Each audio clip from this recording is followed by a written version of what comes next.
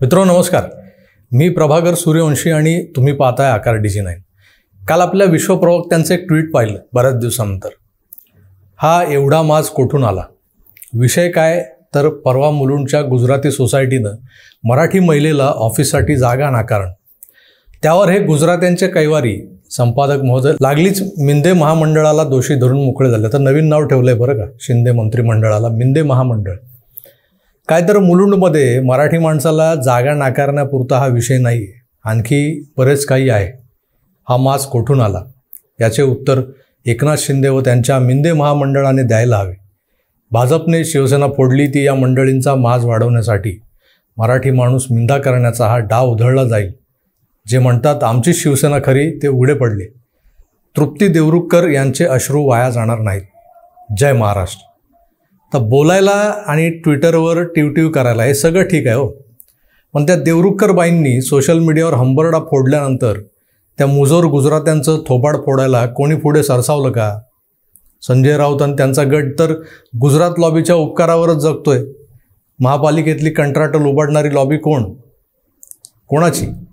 तर यांचीच. परप्रांतीय मित्रमंडळी कोणाची? तर यांचीच.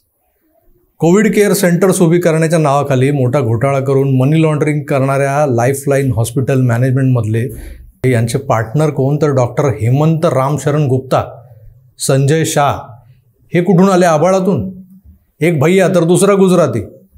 तेव्हा चालतात का? तेव्हा चालतात हे भैया गुजराती.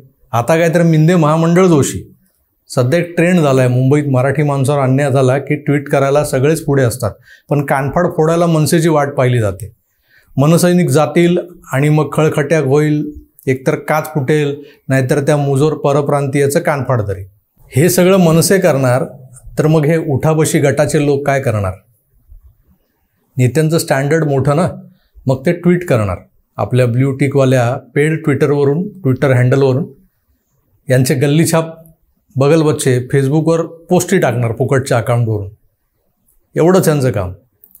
संजय राऊत म्हणतात हा माज कुठून आला? राऊतसाहेब हा माज आजचा नाही आहे आजचा नाही आहे मागची पंचवीस तीस वर्ष हा माज मोठी मोठीनं यांच्या अंगावर चढत गेला आहे आणि तो चढवलाय तुम्ही तुमच्या उठाबशी गटानं. पालिकेचे अधिकार वापरून या परप्रांतीयांना त्यांच्या अवकातीत का नाही ठेवलं गेलं पंचवीस वर्षापासून? का त्यांच्या वोट बँकेसाठी त्यांच्या व्यापारी मित्रांकडून मिळणाऱ्या मलिद्यासाठी तुम्ही आणि तुमचा गट का लाचार झाला होता? मराठी माणसाचं नाव घेऊन मागच्या पंचावन्न वर्षात लुटलं तुम्ही मुंबई महाराष्ट्राला. निवडणुका आल्या की तुम्हाला मराठी माणूस मराठी भाषा आणि मुंबई आठवते. मग सोयीस्करपणे मुंबईला महाराष्ट्रापासून तोडण्याचं षडयंत्र वगैरे रचलं जातं आहे अशा थापा मारल्या जातात. तुमचे हे सगळे जुने फंडे आता मुंबईतला उरला सुरला जो काही टक्का आहे मराठी माणसाचा तो पुरता ओळखू नये. संजय राऊतांना खरंच मराठी माणसाबद्दल पुळका असेल तर गोरेगावच्या पत्रासाळीत काय मद्रासी राहायचे का? मद्रासी राहायचे तिकडे. तिथल्या मराठी माणसांना बेघर करून त्यांच्या घराच्या जागेचा लिलाव करणाऱ्या समाजकंटकांसोबत तुम्ही काय गोट्या खेळत होतात? का तुम्हाला एकशे तीन दिवस तुरुंगात जावं लागलं? आज त्यांचे सगळे बगल बच्चे बोलत आहेत त्यांना सोडून दिलं. ईडीला कुठले पुरावे सादर करता आले नाही तसं नाही आहे या संजय राऊतला झाप झाप झापल्यानंतर सोडलेलं आहे. आणि तेही जामिनावर. दोषमुक्त झालेलं नाही आहे आज तुम्ही विचारताय ना हा मास्क कुठून आला? हाच प्रश्न तुम्हाला विचारावा लागत होता कधी काळी महाआघाडीचं सरकार असताना केवढा माच केला होता तुम्ही? त्या कंगनाला सळोखी पळो करून सोडलं होतं. तर उत्तराखंडची असली म्हणून काय झालं? ती एक महिलाच होती ना? तृप्ती देवरुखकर जशी महिला आहे तशी कंगना राणावतही महिला होती. तिच्यावर तुम्ही पेड नोकर सोडले. एअरपोर्टच्या सेनेच्या युनियनच्या लोकांना कंगनावर वॉच ठेवायला सांगितलं. जी पालिका मुंबईकरांच्या हिताच्या कामांसाठी बनली आहे त्या पालिकेला कामाला लावलं तुम्ही स्वतःच्या आणि तुम्ही तिचं घर तोडलं. नवनीत राणा असो वा कंगना राणावत या महिलांच्या मान सन्मानाबद्दल तुम्ही कधी एवढे संवेदनशील नव्हतात? आज तुम्हाला मुलुंडच्या त्या तृप्ती देवरुखकर नावाच्या मराठी भगिनीबद्दल कणव दाटून आलेली मराठी माणूस मिंदा करण्याचा हा डाव उधळला जाईल. जे म्हणतात आमचीच शिवसेना खरी ते उघडे पडले. तृप्ती देवरुखकर यांचे अश्रू वाया जाणार नाहीत. नाही गेले रावसाहेब नाही गेले. तृप्ती देवरुखकरांचे अश्रू वाया नाही गेले. तुमचा उठाबशी गट नाही धावला पण मनसेचे शिलेदार धावले त्या मराठी भगिनीसाठी. माज उतरवला गेला ताबडतोब. पण तुम्हाला जो पुतना मावशीचा पाना फुटतो ना असा अकाली मराठीचा मराठी माणसांचा मराठी माय भगिनींचा तेव्हा त्यावर आता राग येत नाही तर हसू येतं. अहो जो माणूस आपल्या एकेकाळच्या मानसकन्येला आई बहिणीवरून अद्वा तद्वा शिव्या घालतो त्या माणसाला दुसऱ्या एका मराठी माय भगिनीच्या अश्रूंची काळजी वाटते कसं शक्य आहे? कोण ठेव? कोण ठेव? का? का कोण कोण ठेव? नाही नाही, असं का आपण छानपणा करायचा नाही. हाऊ कोण कॅन ठेव? हाऊ कॅन अरे अरे गात मला शिकवते का तू? ते ऐकून घेतो म्हणून. तू काय समजते तुझं मला? माझ्या नादाला लागायचं नाही तुला परत सांगतो मी. हे हे करून ठेव. आय तू डोंट कॉल record यू कर. Only I am not interested in talking to you you you रे- हे रेकॉर्ड कर आणि पोलिसात घेऊन जा. तुला दादीला जा. आय एम नॉट यू ना. दॅट्स वाय खोटं बोलतो मला. माझी कॉलर पकडते का माझी कॉलर पकडे लायकी आहे का तुझी? आहे. ए चल. ती लायकी तुला दाखवून. थांब जरा. थोडे दिवस थांब. हो मला माहिती लायकी. I know your plan will show your लायकी you wait and watch now I know your I know your plan अरे तुला please go head one minute बोलतोय. आणि मला लँडचे कागद ट्रान्सफर करायचे. Either you transfer Sujit name or my name होय मी स्वप्ना पाटकर यांच्याबद्दलच बोलतोय. बीप केलेलं संभाषणही तुम्ही ऐकलं असेल पण मला वाटतं ते मी तसंच्या तसंच ऐकवलं असतं ना. बीप न करता. असं जाहीरपणे हा माझ्याकडून त्या माऊलीचा अपमान करण्यासारखं झालं असं म्हणून मी हे बीप बीप टाकलंय मध्येच. तर हे असले आपले संपादक महोदय देशाच्या राज्यसभेत बसणारे सदस्य ज्यांच्यावर कोविड काळातल्या अनेक घोटाळ्यांबाबतचे आरोप झालेत. काहींमध्ये तर मनी लॉन्ड्रिंग यांच्याच मुलीच्या भावाच्या नावाने झालेलं उघड दिसतंय तरी तरीही प्रशासन गप्प आहे. अशाच एका गंभीर विषयावर काल स्वप्ना पाटकर यांनी ट्विट केले फार बोलकं ट्विट आहे. मराठी बायकांना शिव्या घालणाऱ्यांना सरकारने काय करावं? आधी तो विषय मार्गी लावायला हवा ना.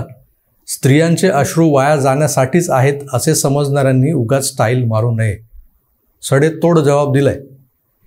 त्यात पुढे लिहिलं आहे एफ आय आर सातशे चौऱ्याण्णव ऑब्लिक दोनशे बावीस म्हणजे दोन हजार बावीसचं पुढे काय झालं?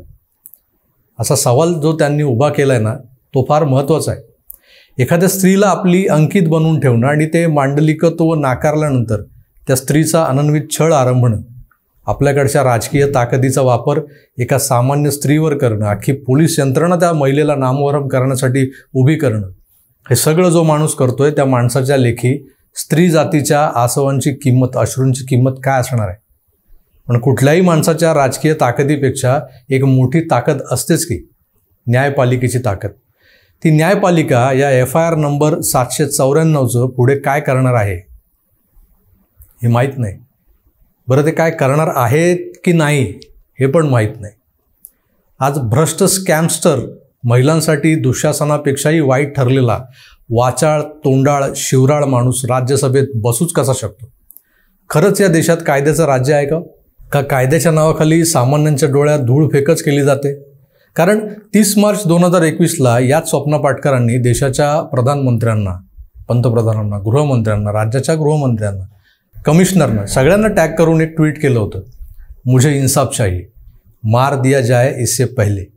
दोन पाणी पत्रच आहे ते. त्यातला शेवटचा परिच्छेद आणि त्यातल्या काही ओळी मनाला भिडून जातात. ऐका. शायद हिरेन मनसुख और पूजा चौहान की मौत के तर्ज पर मेरी मौत के बाद ही मदद की जाएगी. क्या एक जीवित व्यक्ति को न्याय मिलता है।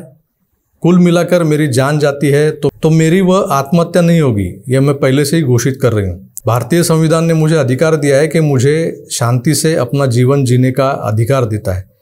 मैं जो चाहती हूँ, वही करती हूँ। जो मैं चाहती हूँ, उन लोगों के साथ संपर्क में रहूँ और जहाँ पर जहाँ चाहूँ, जहाँ रहूँ। यह अधिकार संजय राउत के पागलपन के चलते नहीं खोने दूँगी। जीवित रहने तक, तब तक मैं मेरे अधिकार के लिए लड़ती रहूँगी।